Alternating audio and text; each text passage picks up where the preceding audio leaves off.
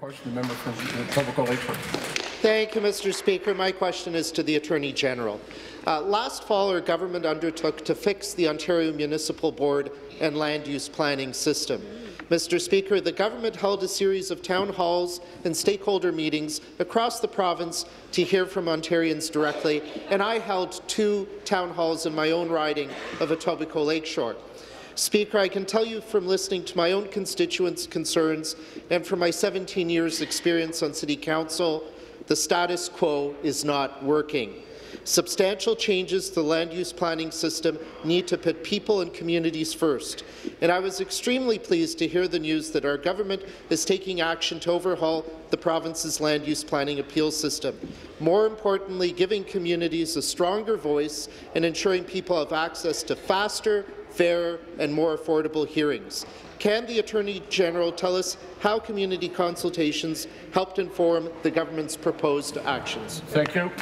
Attorney General. Well, thank you very much, uh, Speaker. And I do want to truly, uh, really thank the member from Etobicoke Lakeshore first for his uh, his guidance uh, to both myself and to the Minister of Municipal Affairs on this very important issue. Being a planner himself, having served on the city, uh, Toronto uh, City Council, of course, he brought forward a lot of practical experience that was very helpful to us. So thanks to the member for his hard work on behalf of his community and advice to us. Speaker, we did some extensive consultation on, on this issue, as you as you know. Uh, we held town halls with over 700 attendees from Windsor to Ottawa. Virtually every sector we heard from had ideas for improving the Ontario Municipal Board or the OMB um, and the hearing process. At the end of the day, Speaker, people want more community involvement and more local control over planning decisions. Speaker, in coming weeks, we will introduce legislation to transform Ontario's land use planning appeal system, including uh, creating the Local Planning Appeal Tribunal, which would, if passed, replace the Ontario. Municipal Board and eliminating lengthy and costly hearings. Thank you. Supplementary. Thank you, Mr. Speaker, and I want to thank the Attorney General for his answer. I'm very proud today that our government is committed to giving communities a stronger voice and create a more level playing field. I know my constituents are extremely pleased uh, by this commitment to overhaul the planning system. Mr. Speaker, the Chief Planner of the City of Toronto, Jennifer Keesmaat, has called our government's reforms a generational change.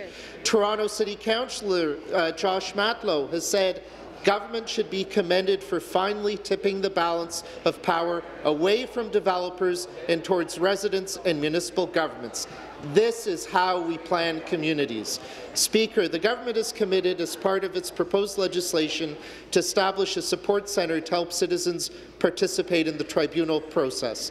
Question. Could the Attorney General tell us more about the Local Planning Appeal Support Centre? Thank you. Attorney General. Speaker, as I was, I was uh, saying, uh, we will be creating a local planning appeal tribunal that will re uh, replace the OMB. We also will be eliminating lengthy and costly de novo, uh, de novo hearings, and we'll be establishing an independent support center uh, called the Local Planning Appeal Support Center to provide free legal support for citizens participating in the tribunal processes. This will spe uh, speak, uh, uh, Speaker, will support more clear and more timely decision-making. In the end of the day, Speaker, the result is going to be fewer, shorter, less costly hearings and more efficient decision-making process, giving communities a stronger voice and fostering a more level playing field. That is why, Speaker, mayors across Answer. this province, residents across this province are supporting our, our, our proposal. Uh, it's been uh, described as a bold step that the province is taking. Speaker, I'm hoping uh, that we'll bring this legislation Thank and that you. will be approved by this legislature. Thank you.